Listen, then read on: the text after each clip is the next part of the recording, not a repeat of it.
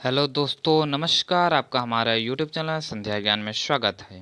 मैं आपके लिए लेकर आ गया हूँ स्टैटिक जीके का पार्ट एट, जो कि आपके एग्ज़ाम के लिए मोस्ट इंपॉर्टेंट है, ठीक है बच्चों? तो अभी तक आपने हमारे चैनल को लाइक, सब्सक्राइब नहीं किया तो कर दीजिए, ठीक है?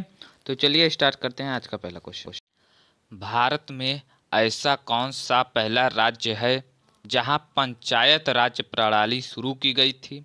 महाराष्ट्र, तमिलनाडु आंध्र प्रदेश या राजस्थान। तो उसका सही आंसर हो जाएगा राजस्थान। ठीक है बच्चों, आगे चलते हैं, बताइए। पानीपत का दूसरा युद्ध किसके मध्य हुआ था? तो पानीपत का दूसरा युद्ध अकबर और हेमू के बीच में हुआ था। ठीक है, अकबर और हेमू के बीच में। आगे चलिए, बताइए। हिंदू जैन धर्म में ब्रह्मांड का केंद्र किसे माना गया है? कैलाश पर्वत, मेरू पर्वत, उज्जैन, पुष्कर झील तो इसका सही आंसर है मेरू पर्वत को माना गया है, ठीक है? आगे चलते हैं, बताइए। अठारह सौ सत्तावन के गदर के समय भारत का गवर्नर जनरल कौन था? लॉर्ड कैनिंग था उस समय भारत का गवर्नर जनरल, ठीक है? आगे चलते हैं, बताइए। अशोक के शिलालेखों की लिपि क्या है? तो उसका आंसर होगा ब्राह्मी लिपि में है, ठीक है? अशोक के जो शिला लेखों की लिपि है, वो ब्राह्मी लिपि में है, ठीक है? आगे चलते हैं।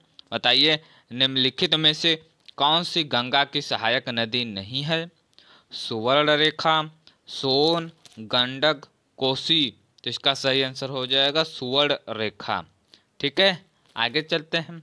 बताइए, भारत के राज चिन्ह में प्रयुक्त होने वाले शब्द सत्यमेव जयते किस उपनिषद से लिया गया है? तो ये लिया गया है मुंडक उपनिषद से। ठीक है बच्चों, मुंडक उपनिषद से लिया गया है। बताइए, किसान दिवस किस दिन मनाया जाता है? तेईस दिसंबर, अट्ठाईस फरवरी, चौदह मार्च, पाँच अगस्त। तो इसका सही आंसर हो जाएगा तेईस दिसंबर को मनाया जाता है। ठीक है, आगे चलते हैं।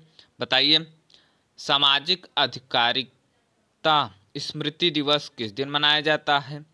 उनतीस जनवरी अट्ठारह फरवरी, इक्कीस अगस्त, बीस मार्च। तो इसका सही आंसर हो जाएगा बीस मार्च।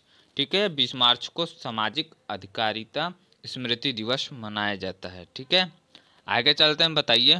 प्रवासी भारतीय दिवस कब मनाया जाता है? नौ जनवरी, एक फरवरी, बारह मार्च पंद्रह अगस्त।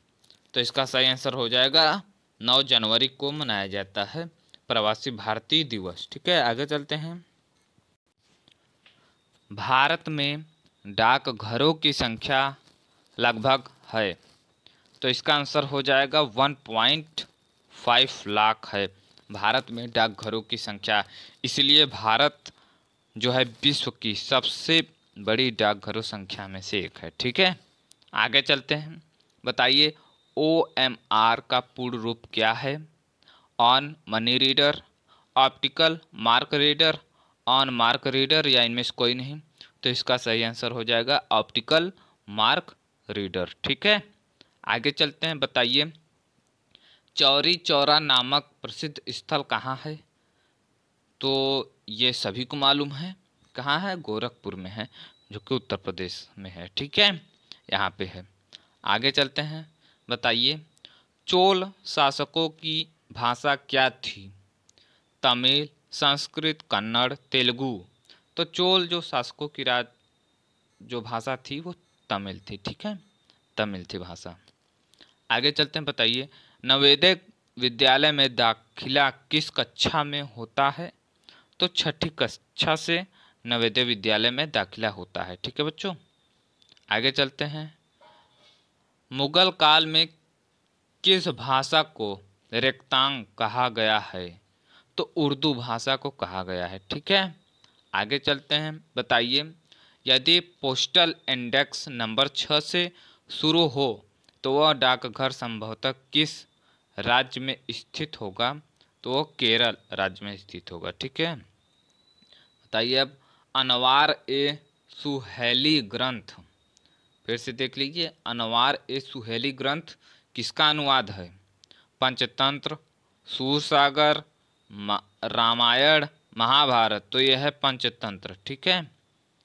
आगे चलते हैं, बताइए, निम्नलिखित में से किस प्रकार की ऊर्जा से सबसे कम वायु प्रदूषण होता है? सभी जानते हैं, सौर ऊर्जा से सबसे कम वायु प्रदूषण होता है। आगे चलते हैं, बताइए द्रुपद गायिका के लिए प्रसिद्ध घराना है तो वो है ग्वालियर घराना। द्रुपद गायिका के लिए प्रसिद्ध है, ठीक है?